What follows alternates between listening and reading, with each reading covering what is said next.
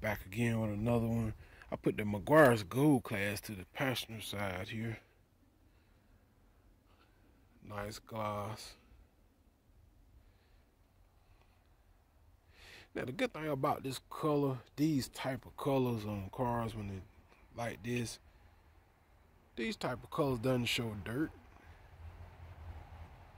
I don't like your dark blues and your blacks, you know, your dark greens and shows a lot of dirt, but man, this car can be dirty for like a week. And you couldn't even tell it. You could just hit the tires and the car still look clean. That's what I like about these color cars. They stay clean, man.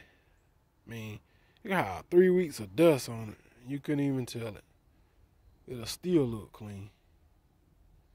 That's the type of color it is, man. I like this color because it stay clean all the time. Might not shine as hard as the blacks and the blues and all that stuff, but they'll pay for that with all the surface defects and the dirt that it show up. So, you know, I'd rather have this color because it looked clean for a long time.